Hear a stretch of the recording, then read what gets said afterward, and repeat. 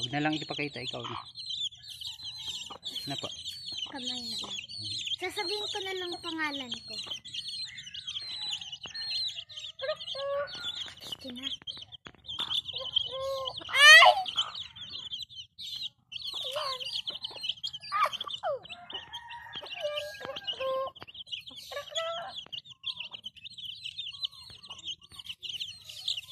Ah, ako po si Riz Flores.